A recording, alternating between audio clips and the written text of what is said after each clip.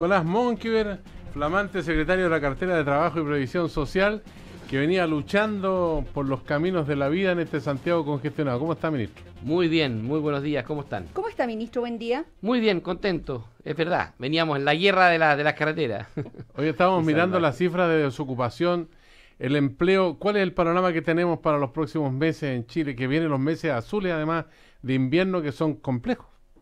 Bueno, sube el desempleo, es verdad pero sube para ver el vaso medio lleno porque más gente ha salido a buscar trabajo.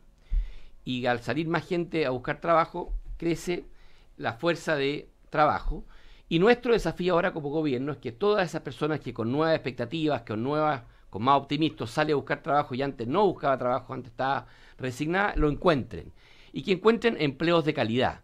Hoy día yo creo que el principal desafío es que haya más trabajo, pero más trabajo de calidad. Eso significa eh, trabajo con contrato, con imposiciones.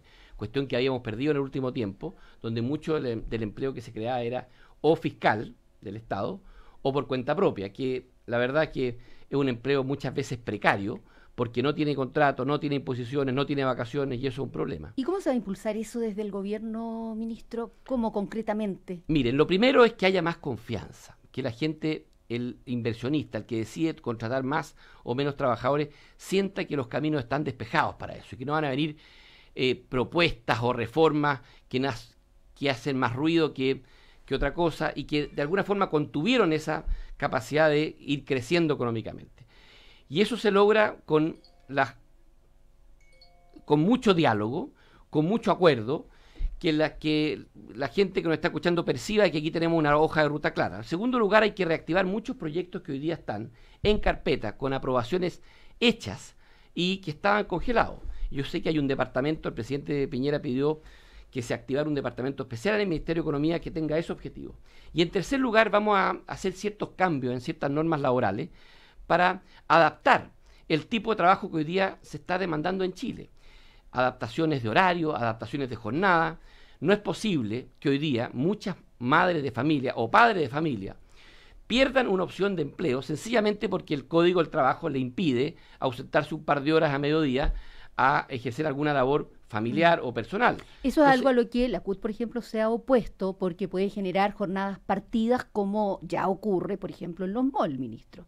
Mire, es verdad que hay dos formas de ver toda esta modernidad de las normas laborales. Uno, verlo como que todo lo que se hace en modernizar y en flexibilizar la jornada es precariedad. Y otro, verlo como una oportunidad para que más personas, jóvenes, mujeres, incluso adultos mayores, encuentren oportunidades de trabajo. Yo creo en lo segundo. Y con la misma fuerza, y esto quiero ser categórico, con la misma decisión que vamos a impulsar jornadas modernas de trabajo, vamos a modernizar la dirección del trabajo, que es la que tiene que fiscalizar. Por ejemplo, ministro, porque si la gente se demora hora y media en llegar a su lugar de trabajo, ¿de qué le va a servir tener dos horas a mediodía si no va a alcanzar a ir a su casa a ver a sus hijos? Por ejemplo, a recibirlos del colegio. No es como, no es como en, iba a decir provincia, bueno, sí también hay provincias. No es como en provincias en, en Chile donde, donde hay tiempo, donde todo queda un poco más cerca y uno puede ir a mediodía, recibir a los niños del colegio, acompañarlos un ratito, volver después, porque además están todas las tiendas cerradas Aquí en Santiago no funciona así. Justamente, usted pone el mejor ejemplo. ¿Qué sentido tiene tener un código del trabajo que rigidice el, inicio y el término de la jornada? hacer viajar a una persona dos horas en la mañana a su casa en horario punta, cuando podría llegar algunas mañanas más tarde e irse, irse después. ¿Qué sentido tiene tener una trabajadora hoy día o un trabajador ocho horas frente al computador cuando puede hacer lo mismo en cinco? ¿Qué sentido tiene un viernes en la tarde, un jueves? Hacer ir a la persona que trabaja, por ejemplo, en materias digitales, a la oficina, cuando podría hacer lo mismo desde su casa o de otro lugar, de, otro lugar distinto. Esa flexibilidad, esa adaptabilidad es la que da mejor calidad de vida. Y siempre se, caemos en la maldita tentación de decir que esto es para las mujeres. No, pues, no seamos machistas. La compatibilidad entre la labor de la casa, de la familia y el trabajo es para los hombres y las mujeres. No puede, no puede ser que tengamos ese concepto de ah, que los hombres podemos trabajar 15 horas diarias o todo lo que mm. queramos y las mujeres tienen que adaptarse. No, porque la mujer también quiere eh, que el hombre la ayude. Pues. Hay una preocupación, ministro Nicolás que está latente desde la época de la campaña presidencial, en que el presidente Piñera dijo que iba a poner acento en el mejoramiento sustantivo de las pensiones. Eh, y una situación que uno se pregunta, bueno, ¿en cuánto tiempo y en qué nivel van a quedar las pensiones y cuáles son las medidas que se van a adoptar? Mire, lo primero que hay que decir, el que diga por estos micrófonos, por cualquiera, que en dos meses va a mejorar las pensiones y que se acaba el problema de las pensiones bajas en Chile, está mintiendo. ¿Cuál es la meta y en qué tiempo del Porque hablar de reforma previsional es un buque gigante que involucra una cantidad de recursos millonarios y que no se puede hacer todo de la noche a la mañana. Nosotros tenemos una propuesta que básicamente desde el primer momento en que esta se apruebe se, se, suben las pensiones más bajas, que son las que están incorporadas en el pilar solidario.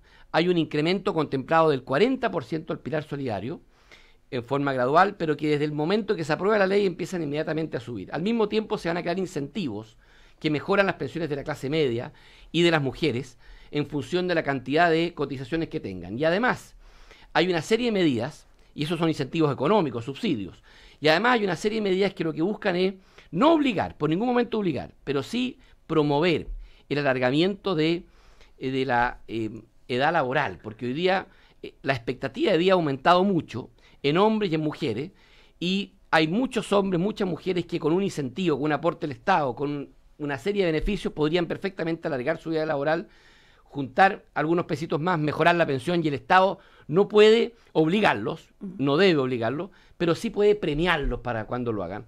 Yo creo que en definitiva las tres medidas apuntan a mejorar las pensiones presentes. Y para mejorar las pensiones futuras, tenemos contemplado un incremento en la cotización previsional del 4% de cargo del empleador, que implica también un alza importante en las pensiones eh, para aquellas, aquellas personas que se van a eh, pensionar en el futuro. Un porcentaje, un porcentaje perdón, va a ser va a ser para mi cuenta individual y un porcentaje eh, también para mm, para repartir o no, ministro. Mire, eso es un tema que efectivamente lo vamos a discutir en el Congreso. Nosotros ¿Cuál es la idea del gobierno? Mire, la propuesta original es que el 4% es fondos, son recursos del trabajador. Pero sin embargo nosotros sabemos que eso puede ser materia de discusión. Eh, yo lo único que le quiero decir es que necesitamos más solidaridad. No basta solo capitalización individual, no basta solo que cada uno arme su pensión con lo que es capaz de ahorrar. Mm. Eso es injusto.